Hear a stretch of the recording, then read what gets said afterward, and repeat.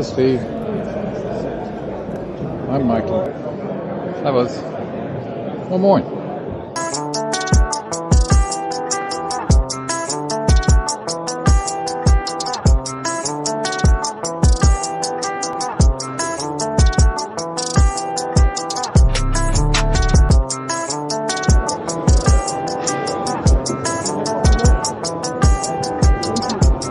So. Ja, läuft. Ja, gut. Läuft. Ja, noch kein Hunger, was mehr. Ich werde schon auch ein bisschen auch gemobbt hier. Ne? Also, das ist ja, ihr kennt den Peter Leutner, das ist ja der Chef von Element 2. Ist halt extra dabei. Ne? Und ähm, liebe Kamera, ich schlage vor, dass wir nachher nochmal ein Zwiegespräch führen, denn ich kann da Geschichten erzählen. Das ist wirklich nicht mehr feierlich. So, dann haben wir den Ole hier. Du bist jetzt wie lange am Start bei Element 2? Äh, fünf Monate. Heute nicht mehr mitgerechnet. Heute nicht Heute nicht mehr mitgerechnet. genau. Ja, super. Klasse. Und natürlich Sascha, brauche ich auch nicht reden, den kennt er natürlich von Native Watercraft Europe. Der ist derjenige, der das Ding lenkt. So sieht's nämlich aus. Oder? So sieht's aus. Ah, das ist dein Ding. Genau, genau. Was ist das? Der neue Katalog für die Saison 2023, 2024. Mit dem Titan X natürlich ganz vorne. Hat eine Doppelseite. Können wir ja kurz mal reinschauen. Auch demnächst bei uns auf der Website zum Runterladen. Zum Runterladen.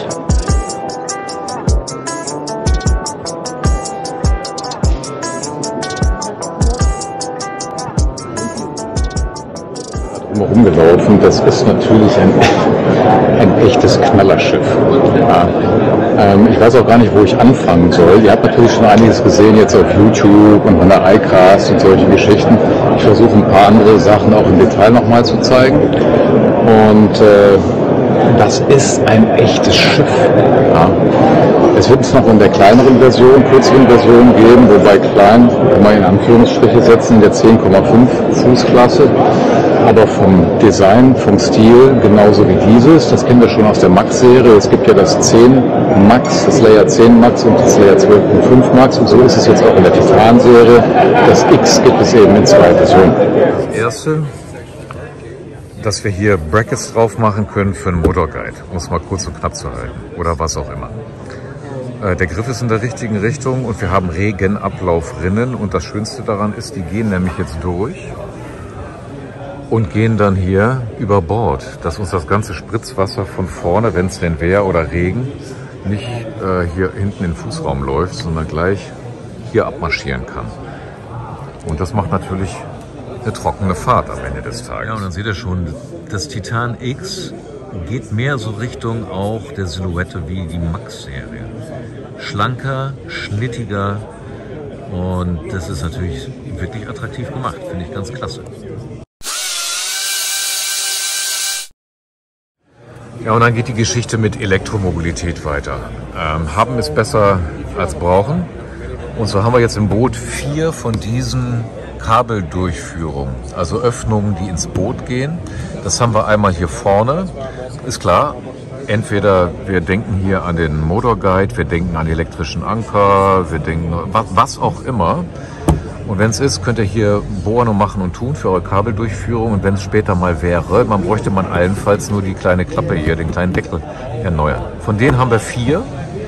Die anderen beiden befinden sich jetzt hier rechts und links vom Sitz. Ihr könnt also eure Kippschalter, USB-Ports, was weiß ich nicht, äh, ne, was euch einfällt, könnt ihr da montieren und das Ganze natürlich auch hinten. Da sind wir hier. Und da seht ihr schon, da kommen dann auch äh, ein Bracket dran für Elektromobilität. Achtern, wer das möchte.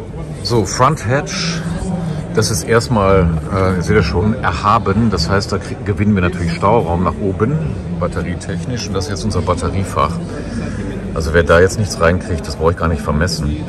Ähm, wem das jetzt nicht reichen würde, hier haben wir die Durchführung wieder für eure Geber. Die Batterie kann man verzurren und selbst wenn du da eine LKW-Batterie reinstellen wolltest, dann machst du es halt hier rein. Äh, riesig, riesengroß. Dann haben wir hier jetzt unsere ähm, Rod Tip Protectors im Boot, weil die Breite des Bootes gibt es ja hier mit 1,05 Meter. Die Tubes könnte man sehen, wenn man vorne reinschaut. Und die sind von innen auch mit einem äh, Rubbercap, mit so einem Soft äh, Gummi verschlossen, wasserdicht. Das ist prima, zwei Stück an der Zahl. Und hinten am Boot vorbei sind dann die Rod Buttlays wo ihr die roten Enden hier auflegen könnt. Es ist genug Platz da, um solches zu tun. Und es ist alles schön aufgeräumt, dann kann man auch durch die Büsche fahren. Dann haben wir jetzt zusätzlich rechts und links vorne quasi neben dem Antrieb auch nochmal eine Rail Mount sitzen. Also wenn man jetzt irgendwie hier vorne, was weiß ich, das können wir jetzt vom, vom Echolot, ähm, Überhalterungen für eure Kameras etc. pp. haben wir also zwei. Vorne müssen wir auch nichts mehr bohren. Äh, um da irgendwas festzuschrauben, ist schon alles dran. Die Rails rundherum ums Schiff sind natürlich geblieben. Freilich aus der Max-Serie bekannt und geliebt sind natürlich die Inlays in der Bordwand. Da könnt ihr eure Planoboxen unterbringen. Ähm, das ist natürlich klasse für das, was man ständig braucht. Also einfach rein damit. Kann man hier noch verschließen. Und dann sind wir hier auch mit unserem Springblade unterwegs. Wenn man also runterlassen, runterklappen kann, wie gehabt. Hat er natürlich, ist ganz klar. Ja gut, über den Sitz, äh, das fand ich jetzt interessant. Äh, am Anfang habe ich gedacht, ja, das ist ein schönes Feature, aber ob, ob, ob, ob, ob, ob man das wirklich braucht? und dann habe ich drin gesessen und habe gesagt, das ist aber kein Stuhl, das ist tatsächlich ein Thron. Und der, habe ich ja schon gesagt, der ist 360 Grad drehbar. Und das ist jetzt noch nicht die finale Version von der ähm, wir haben das auf der ICAS gesehen, da gab es einen Verriegelungsmechanismus, der wird nicht kommen, weil zu laut und äh, irgendwie unhandlich. Im Moment ist er 360 Grad drehbar im Original und äh, das bleibt natürlich. Aber wie man den dann äh, arretieren wird oder ob man ihn einfach nur jammen wird, das weiß ich noch nicht. Aber da wird noch äh, final was kommen. Der Sitz er sieht zwar sehr flach aus, aber der ist super, super bequem, deutlich größer und breiter und ähm, stabiler fühlt sich die ganze Geschichte an. Da knirscht auch nichts mehr, das ist eine schöne Sache, weil das jetzt hier anders im, äh, im Gestühl äh, installiert ist. Ähm, der, der Steve hat mir schon erzählt, dass der Hersteller, der, das, der diese Sitze baut, der macht normalerweise das Gestühl für die Navy Seals in den Einsatzfahrzeugen. So, da war die Diskussion für mich natürlich beendet. Wenn das da funktioniert, brauche ich mir keine Gedanken machen. Und so fühlt sich das Ding auch an. Das ist rock, rock solid. Da wackelt nichts, da quietscht nichts, gar nichts. Der sitzt hier unten auf einer Kunststoffschiene in den Rails, kannst du also stufenlos freilich vorne und hinter verschieben, überhaupt gar kein Thema. Natürlich auch mit der Rückenlehne. Ähm, ja, das fühlt sich an nach Navy Seals. Und das passt auch zum Boot, weil das ist so das Flaggschiff. Da geht einfach alles. Ich probiere das jetzt mal mit dem Sitz. Ja, das bekommt ihr sofort auf Ideen. Das müsst ihr euch angucken. Das ist natürlich der Knaller. Bin ich noch gar nicht drauf gekommen. Ein- und aussteigen.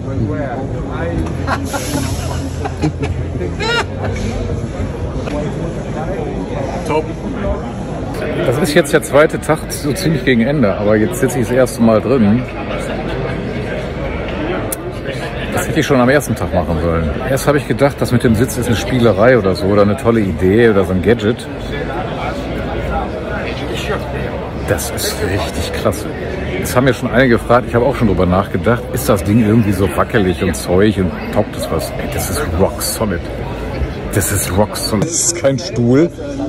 Das ist ein Thron. Um euch mal die Platzverhältnisse zu zeigen. Ich habe jetzt ausgestreckte Beine im Sitz. Ich komme nicht mal hinten ran. Dass du jetzt hier zum Aussteigen drehst du dich auf dem Stuhl einfach um. Das geht jetzt genau in die Kniebeuge.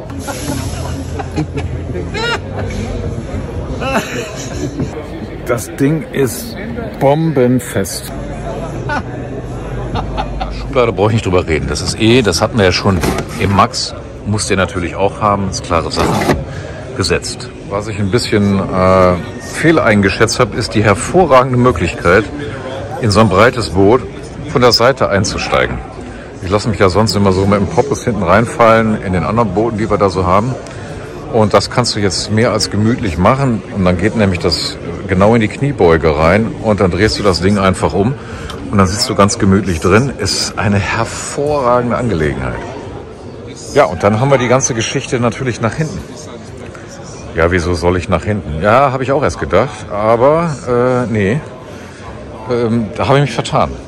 Erstens ist das hinten so weit dahinter lang und so, dass es sehr angenehm ist, wenn du dich rumdrehen kannst. Ob du jetzt einen, Cooler ganz hinten hast, den du nicht den ganzen Tag brauchst, dann kannst du da hinten reingreifen. Ich habe jetzt hier den Blackpack Pro. Das ist jetzt der 13 x 16. Es ist für dich jetzt der Frühstückstisch, wenn du möchtest, aber natürlich kannst du auch dran. Ähm, die Batteriebox, die wir hier haben, die stört nicht. Da müsste man eigentlich erstmal nicht dran. Aber klar, kannst du auch natürlich mit, mit Eiswürfel äh, kannst du reinmachen und deine Getränke auch hier kühlen. Warum denn nicht? Das ist eine einfache Geschichte. So, wenn deine Getränke kühl halten wolltest, wäre das also überhaupt kein Thema. Ich nehme mal kurz die Black, den Blackpack raus. Warte, ich nehme das mal raus. Dann habt ihr hier ein Bucket. Und auch wenn das Sidekick da drüber ist, kommst du da prima dran. Das ist ja jetzt, das ist ja jetzt so das A und O. Und man denkt, ja, da ist ja die Sidebar. Äh, das ist aber vollkommen egal. Abgesehen davon, dass ihr noch einen Haufen Zeug unterbringen könnt. Aber hier könnt ihr jetzt ne, euer Eis reinmachen, wenn es ist. ist aber eigentlich das Batteriefach, wenn man das wollte. Wenn man weiß, wie es geht. So geht es nämlich. Mit einer Hand, zack. So, dann habt ihr, oder hier habt ihr euer äh, Frühstückstischchen äh, und könnt da jetzt die Beine wunderbar daneben. Und ich kam mit meinen Beinen am Ende des Tages nicht mal bis, bis hier mitgestreckt. Ja, Blackpack Pro, das ist natürlich jetzt wieder für gemacht. Erste schöne Sache ist, wir haben ja unter dem Blackpack hier unten die äh, Gummifüße und die passen tatsächlich jetzt auch exakt hier drauf und damit ist das auch rutschfest. Das ist jetzt der 13 mal 16. So, warte, stelle ich genau da rein. Und jetzt rutscht da genau nichts mehr. Auch der 1616 passt natürlich. Ähm, wenn ich den, ihr müsst ich, kann ich jetzt nicht zeigen, wenn ich es drehe, es ist zwar 16 Zoll, aber dann habe ich die Routenhalter an der falschen Ecke. Man kann aber genauso gut hergehen und sagen, ja gut, ich kann mir das am Ende auch so einbauen. Ja, wenn ich dann sage 1, 2, 3, 4, dann habe ich hier noch Platz für die Füße, wenn ich hinten raus sitze und habe trotzdem mein ähm, Frühstückstischchen, wenn ich so will. Müsste man nur die Routenhalter anders montieren, also die beiden weg. Da kommt einer noch hier hin, zwei, drei, vier. Und dann habt ihr Platz hier, um die Füße abzustellen. Perfekte Angelegenheit für Ansitzangler, die den Wind nicht im Gesicht haben wollen beim Ankern, weil dann kommt der Anker da vorne hin. Dann dreht ihr den Stuhl nach hinten und dann könnt ihr hinten raus fischen. Nicht ins Ankerseil und der Wind habt, den habt ihr im Rücken und wenn es ist, auch den Regen nicht im Das habe ich übrigens bei Yakatech gefunden. Das ist ein ganz toller Paddelhalter. Dann kann man nämlich das Paddel, ich zeige euch das mal. Nehmen wir mal hier so ein Doppelpaddel her. Das ist natürlich echt sturdy. Das kannst du einfach reindrücken. Kann man nochmal extra sichern. Ja, so. Ist das natürlich irgendwie auch eine smarte Angelegenheit. Insgesamt kommt dann das Schiff mit acht Skappern daher die Durchführung natürlich, um dem Rumpf die Stabilität zu geben. Logischerweise, nicht wahr? Da, dadurch gewinnt natürlich der Fußraum die ganze Stabilität. Den letzten wird man nie gebrauchen. Da sind nämlich, je nachdem, wo du mit dem Sitz bist, ist die Sitzschiene drüber. Macht aber nichts. Wir brauchen die Durchführung für die Stabilität, auch wenn da hier so ein Skapper drin ist. Entwässern wirst du ihn sowieso nur vorne.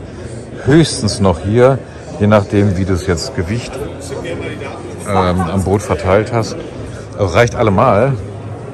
Im äh, Slayer 12.5 Max gibt es 10. Da, auch da brauche ich immer nur ein paar, je nach Beladung. Dann haben wir hier jetzt nicht mehr eingebacken, den Routenhalter, sondern der ist jetzt einfach ein Standard äh, für alle Boote. Finde ich aber gut, ähm, weil das einfacher und gescheiter einzubauen ist. Ihr das? Hier und hier. Wir hatten das bisher gemoldet, ist wahrscheinlich aber von der Produktion etwas schwieriger, dass, dass die Nähte sauber sind. Da muss man halt genauer hingucken und das macht die Sache hier natürlich ein bisschen einfacher und finde ich gut. Wenn man das jetzt eben zum Beispiel vergleicht zum bisherigen Titan 12. Die Stauluke war ja schon beim Titan 12, ist ja riesig. Aber so riesig wie sie ist, weiß man gar nicht, was man da alles verstauen sollte, weil die so groß ist. Da kann ich halt die Oma reinsetzen. Aber jetzt haben sie es halt aufgeteilt. Ja? das ist halt die schöne Angelegenheit. Sie gesagt haben, ja, ja, wir können das ja jetzt eben sinnvoller nutzen, indem wir den riesigen Stauraum, den er ja immer noch hat, ähm, nutzen eben durch das Batteriefach. Den Einlegeeimer, den kann man immer gebrauchen, für was auch immer. Und selbst unten drunter kann ich ewig viel stauen. Also es ist einfach angenehmer, sinnvoller unterteilt. Finde ich ganz klasse. Der Antrieb bleibt der gleiche, 701. Sachen, die perfekt funktionieren, sollte man nicht verändern. Finde ich gut. Das ist jetzt auch der Steuergriff, den wir aus der Max-Serie kennen. Das bleibt dabei, weil der kann alles, was er muss. Und da, der wackelt auch nicht und gar nicht. Das ist also sehr soft alles zu, äh, zu bedienen. Finde ich klasse. Mit Springblade natürlich die ganze Geschichte. Griffe, das neue Sidekick. Batteriebox oder Cooler, wenn ihr wollt. Ewig viel Platz. Und das Ganze in einem echt wunderbaren Design. Flach, schnittig, tipptopp. Und insofern muss ich sagen, das ist ein übersichtliches Schiff tatsächlich, auch wenn da jetzt irgendwie alles drin ist. Aber alles hat seinen Platz, alles ist aufgeräumt. Ähm, das macht einfach Sinn, wie sie es gemacht haben. Man merkt auch gleich, das sind halt Angler. Die wissen einfach, wo was hin muss. Ähm, das ist für mich zu Ende gedacht.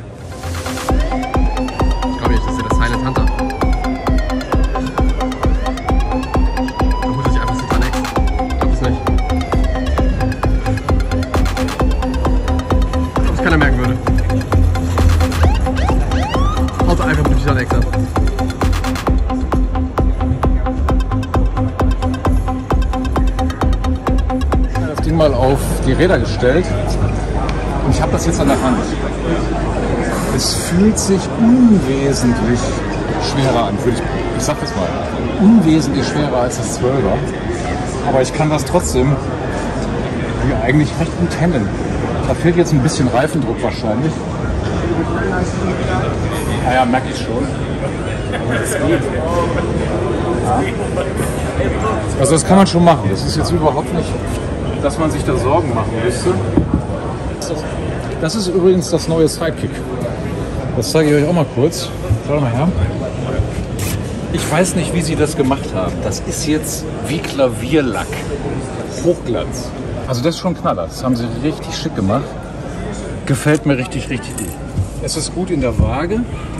Es ist genügend in der Mitte vom Boot, gewichtstechnisch, dass man das wunderbar an der Hand tatsächlich manövrieren kann. Hätte ich jetzt gar nicht so vermutet. Aber jetzt parken wir wieder ein.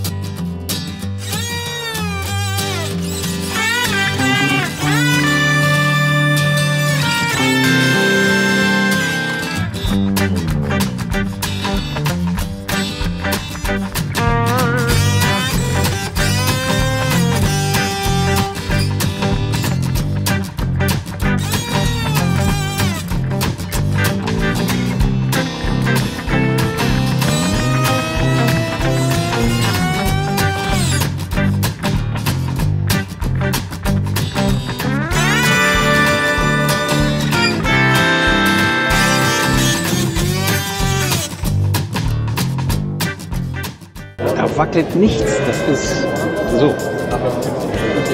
Unglaublich. Jetzt kommst du da dran. Du sitzt ein bisschen höher als zuvor, aber bei der Breite und Länge ist das ja überhaupt kein Thema.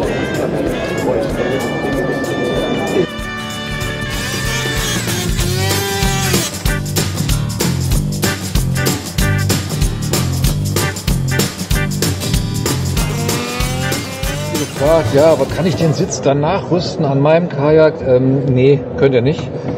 Das ist nämlich ein ganz anderer Aufbau von der Höhe her. Ihr könnt also jetzt nicht diesen Sitz komplett hernehmen und sagen, den baue ich mir jetzt ins Slayer Max, finde ich cool. Geht nicht. Von der Breite geht es nicht, aber von der Höhe auch nicht, weil beim Slayer Max ist ja die, die Schlittenaufnahme für den Sitz auf halber Bordwandhöhe. Und dieser Sitz sitzt unten auf dem Boden, auf Schienen und lässt sich auch dort dann stufenlos natürlich von vorn nach hinten verstellen. Das Ganze wieder mit Klemmschraube. Und statt Chassis, wie wir es früher mal gekannt haben, aus dem Titan, gibt es nicht mehr und dafür gibt es eben die Schublade.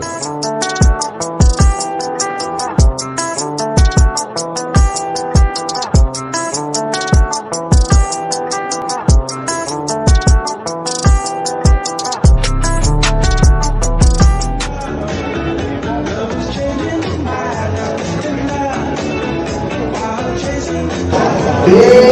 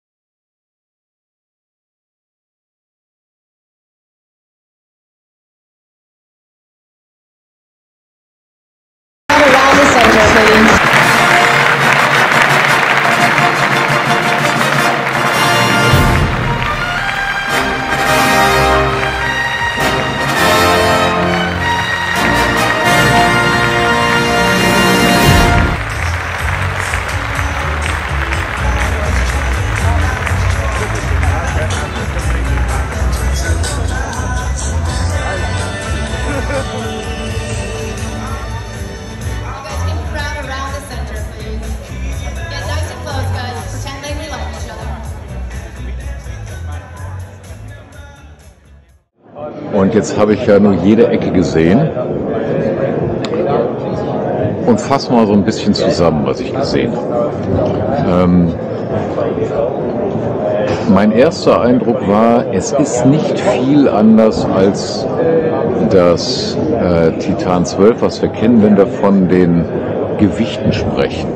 Das war ja so mein Gedanke, wie groß und schwer ist das eigentlich? Groß ist es zweifellos und zwar ja noch ein bisschen mehr. Das, was es an Breite gewinnt, ähm, macht es quasi gut, indem es vorne und hinten ein bisschen wieder zuläuft, ähnlich wie das Max auch. Äh, Das macht das, äh, ähm, es schmeichelt dem Auge sehr. Also von der, von der Silhouette her ähnelt es jetzt mehr der Max-Serie. Es hat einen Haufen Gadgets. Ähm, was besonders hervorzuheben ist, jetzt die Breite von einem Meter und fünf. Das ist natürlich gigantisch und bringt natürlich jetzt äh, grundsätzlich eine Stabilität dann mit in das Boot. Das sucht jetzt seinesgleichen. Das wollen wir natürlich. Also zumindest dann, wenn man viel Zuladung hat oder auf dem Meer ist oder man ist so ein Kerl, dann ist natürlich ein Meter und fünf das Riesending. Und trotzdem läuft es eben recht filigran, muss man fast schon sagen, schön schnittig zu. Das ist mal noch was obendrauf. Dann haben wir das Ganze natürlich auch in der kürzeren Version, wie ich schon gesagt habe, 10,5 Fuß.